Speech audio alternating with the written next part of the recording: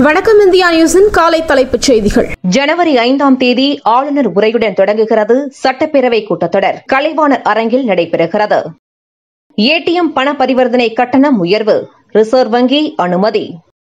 தமிழகத்தில் மீண்டும் கொரோனா பரவல் அதிகரித்து வரும் நிலையில் ஒன்பதாம் வகுப்பு வரை அனைத்து மாணவர்களையும் தேர்ச்சி பெற யோசனை. பள்ளி கல்வித்துறை திட்டம் என தகவல். ஹரியானா மாநிலம் கல்குவாரியில் ஏற்பட்ட நிலச்சரிவில் ஒருவர் பலி. பனிரெண்டு பேர் புதைந்தனர். சிவகாசி அருகே ஏற்பட்ட பட்டாசு ஆலை வெடி விபத்து. பட்டாசு ஆலை உரிமையாளர் மீது வழக்கு பதிவு. சென்னை வானிலை ஆய்வு மையத்தை மேம்படுத்துங்கள். மத்திய அமைச்சர் அமித்ஷாவுக்கு முதலமைச்சர் மு ஸ்டாலின் கடிதம்.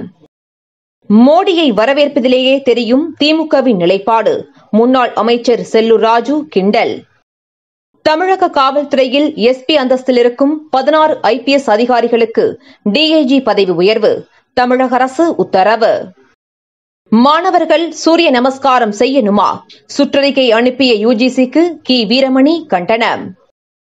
கொரோனா பரவல் அதிகரிக்க வாய்ப்புள்ளதால் தடுப்பு நடவடிக்கைகளை துரிதப்படுத்த வேண்டும். மத்திய சுகாதாரத்துறை எச்சரிக்கை. நாடாளுமன்ற தேர்தலில் பாஜகவுக்கு எதிராக வலுவான கூட்டணி அமைக்க வேண்டும். மதிமுக பொதுச் செயலாளர் வைகோ பேட்டி.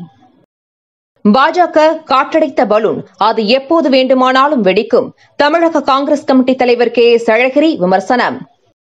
முன்னூறு யூனிட் இலவச மின்சாரம். உத்தரப்பிரதேச மக்களுக்கு அகிலேஷ் யாதவ் வாக்குறுதி. உணவுதான் அவசியம். அணு ஆயுதங்கள் அல்ல. வடகொரிய அதிபர் பேச்சு. தமிழகத்தில் கடலோர மாவட்டங்களில் அடுத்த இருபத்தி நான்கு மணி நேரத்தில் மிக பலத்த மழைக்கு வாய்ப்பு. சென்னை வானிலை ஆய்வு மையம் தகவல். தினந்தோறும் காலை தலைப்புச் செய்திகளை உடனுக்குடன் தெரிந்து கொள்ள வணக்கம் இந்தியா நியூஸுடன் இணைந்திருங்கள்.